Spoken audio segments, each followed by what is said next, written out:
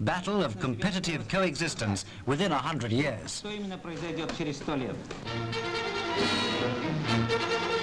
Arriving at Madrid's airport, General Franco and members of his government had obviously come to offer an impressive welcome.